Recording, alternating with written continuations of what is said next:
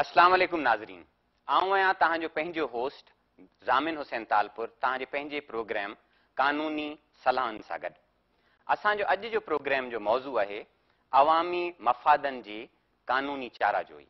असांजो अॼु जो مہمان आहे तमामु नाले वारो वकील ऐं आइनी माहिर जना मोहतरम अयाज़ लतीफ़ वली जो साहबु साईं अवामी तहरीक जो सदर्ब आहे ऐं साईं खे कानून जे हवाले सां ऐं آئین जे हवाले सां पढ़ाइणु ऐं वकालत जो तमामु वसी तजुर्बो आहे साईं खे असां पंहिंजे प्रोग्राम में वेलकम चऊं था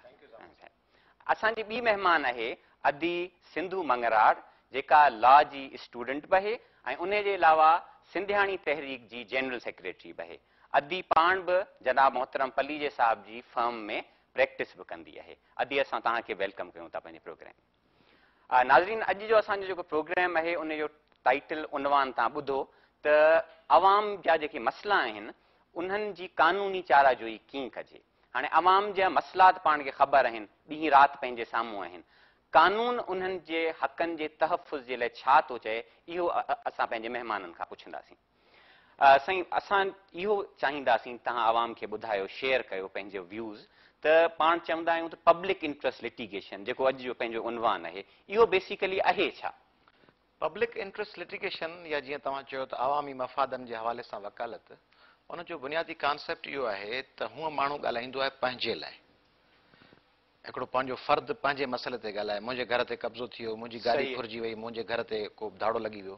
ॿियो आहे त उहो मफ़ाद जेको हुन जो पंहिंजो त तमामु थोरो परसेंटेज हुजे पर हुन इलाइक़े या उन ॻोठु या उन पाड़े या उन घिटीअ जे इलाही सारनि माण्हुनि जो मसालो हुजे मसलनि जे किथे गटर जो ढकु न आहे हाणे उहो गटर जो ढकु रुगो उन गुल मोहम्मद या शबीर जो मसलो न आहे जंहिंजे घर जा अॻियां आहे पर उतां जेको ॿार लंघे थो उहो उन्हनि सभिनी लाइ मसलो आहे को ॿार किरी सघे थो या किथे का तार लटके पई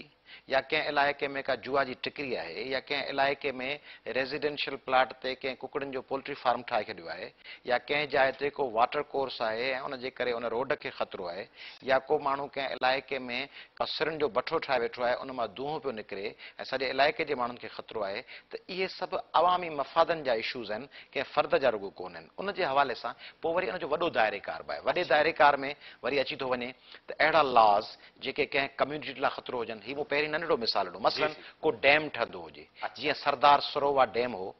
भारत जी कंहिं रियासत में उनजे हवाले सां इलाही सारा माण्हू निकिता एन जी ओज़ निकितियूं उन्हनि चयो त इन सॼे इलाइक़े खे ख़तरो आहे